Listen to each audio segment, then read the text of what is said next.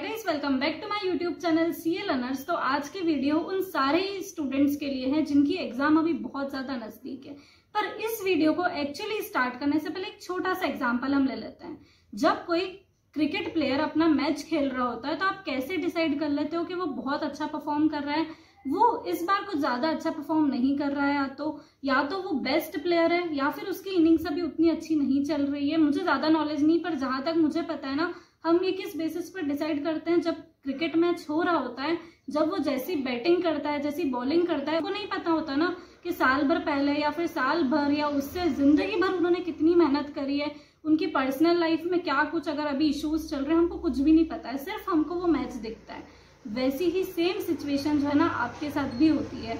जब आप एग्ज़ाम में वो तीन घंटे अपना पेपर लिख रहे होते हो ना तो पेपर चेक करने वाले को सिर्फ़ आपका वो पेपर दिख रहा है।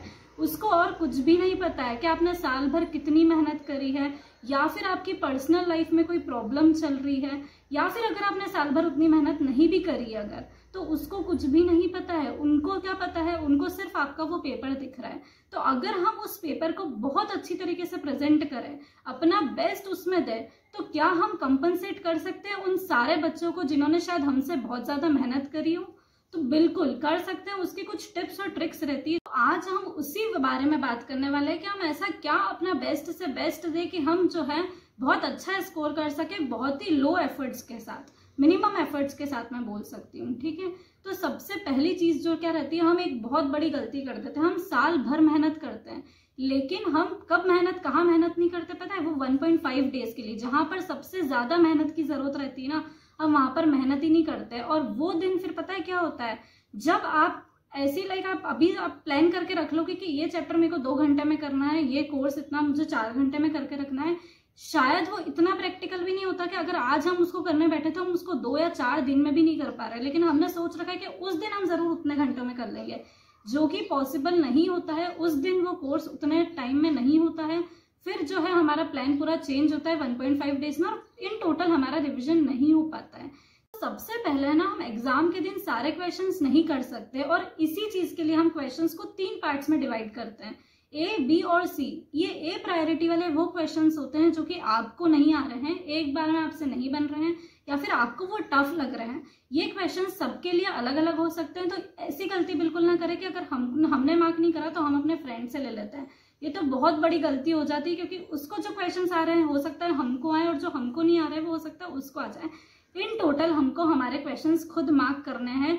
वीडियो में आगे बढ़ने से पहले अभी C A inter May twenty three के जितने भी स्टूडेंट्स हैं, उनके लिए सबसे बड़ी प्रॉब्लम ये आ रही है कि syllabus is too lengthy and it is becoming very difficult to revise it multiple times और इसका सोल्यूशन ये है कि अगर अभी हमारे पास इंपॉर्टेंट क्वेश्चंस की लिस्ट होती है तो we can revise that questions only three two four times very easily और इसीलिए स्टडी बडी क्लब आपके लिए लेकर आ गए हैं। इंपॉर्टेंट क्वेश्चन की लिस्ट और साथ ही में उसके आंसर्स वो भी बहुत ही ज़्यादा मिनिमम प्राइस पर, जो कि है 2000 to 2500 for the whole group और उसमें भी अगर आप मेरा कोड यूज़ करते हैं सी ए लर्नर्स तो आपको 10 परसेंट ऑफ़ मिल जाएगा।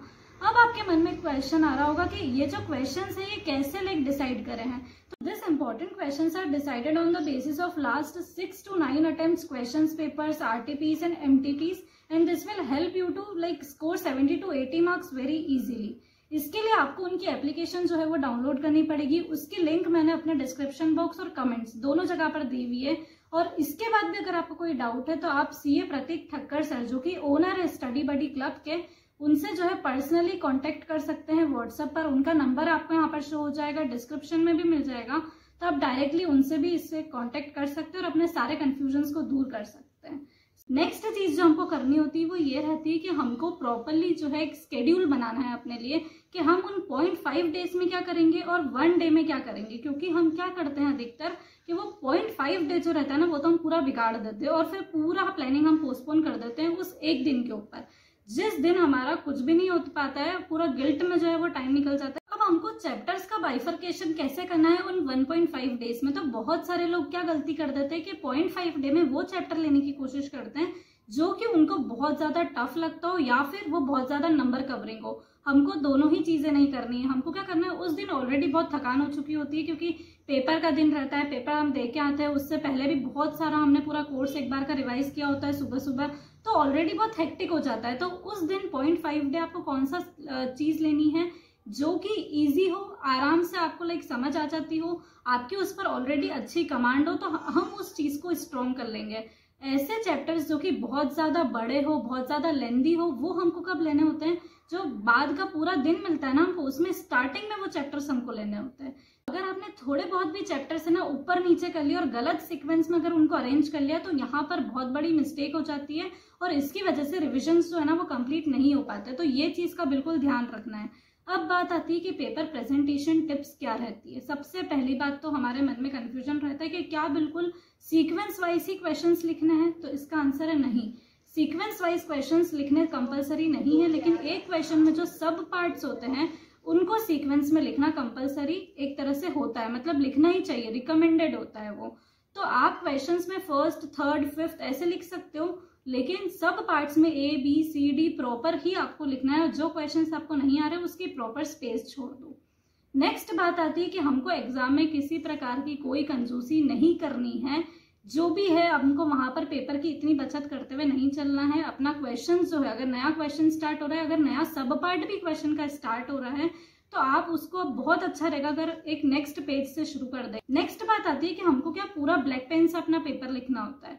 तो यहाँ पर पहले तो हम ब्लैक ब्लू रेड सब यूज़ कर लेते थे पहले एग्ज़ाम्स में।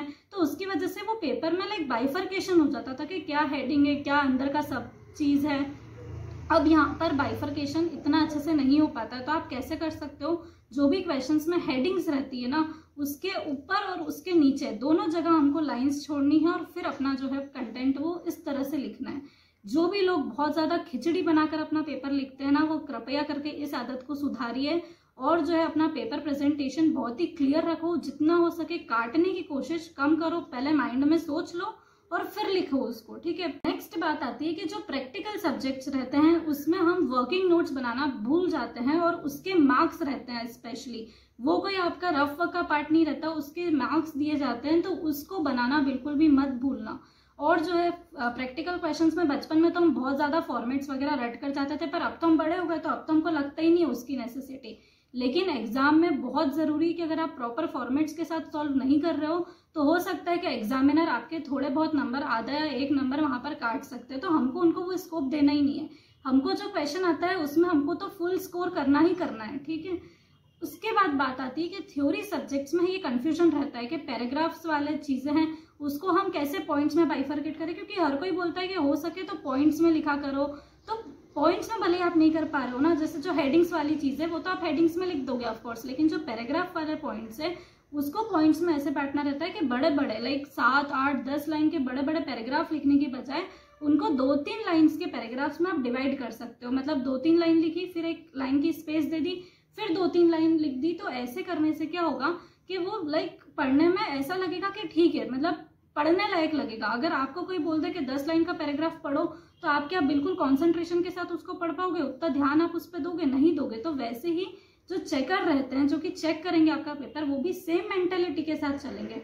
तो लास्ट टिप जो है मेरी तरफ़ से आपको ये रहेगी कि मेरी रिक्वेस्ट है आपको कि अपना पेपर पूरा हंड्रेड परसेंट अटेम्प्ट करना है।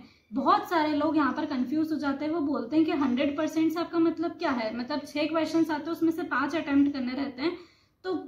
बोल रही हूँ कि जितना अटेम्प्ट करने रहते हैं, जैसे पाँच क्वेश्चन अटेम्प्ट करने रहते हैं ना तो वो पाँचों अटेम्प्ट करो। ये नहीं होता है कि छो अटेम्प्ट करना है, नहीं।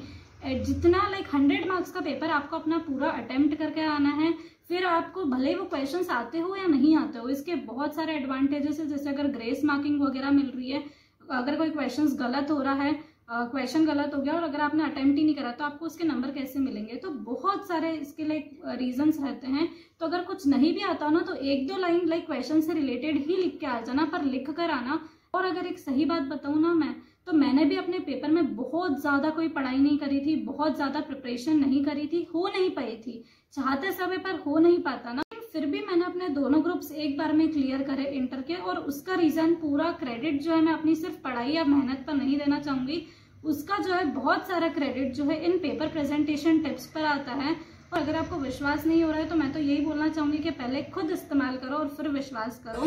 तो ये बहुत ज़्यादा काम में आएँगे। इनको लाइक नोट करते हुए चलो बिल्कुल और अच्छे से इनको फॉलो करो। डेफिनेटली रिज़ल्ट आपको मिल जाएँगे। सो so, अगर ये वीडियो आपको पसंद आई है तो वीडियो को लाइक करना ना भूले चैनल को सब्सक्राइब करना ना भूले। So thank you so much for watching bye